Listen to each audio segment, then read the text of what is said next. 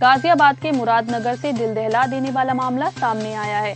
बाईस साल की मासूम को हवस का शिकार बनाया गया। आरोपी कोई गैर नहीं, बल्कि पड़ोस का ही रहने वाला युवक है। महाजन नाम के इस शख्स को पुलिस ने आज गिरफ़्तार कर लिया।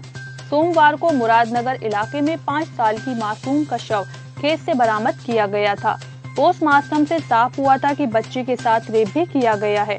शक के बिना पर पुलिस ने कई लोगों को हिरासत में लिया। और जब कड़ाई से पूछताछ की गई तो पड़ोसी ने अपना जुर्म कबूल किया। कल सुबह मुरादनगर थाना क्षेत्र के खेत में एक पाँच वर्षीय बच्ची का शव मिला था।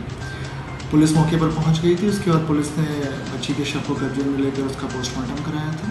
बच्ची के पिता ने इस संबंध में मुकदमा पंजीकृत कराया था कल मुरादनगर थाने में। विवेचना के दौरान एक व्यक्ति जिसका नाम महाजन है, मुरादनगर का रहने वाला है, उसका नाम प्रकाश में आया था।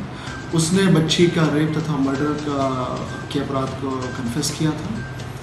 इसमें उसकी गिरफ्तारी की जा चुकी है तथा उसको कोर्ट में पेश किया जा रहा है। अग्रिम कार्रवाई की जा रही है।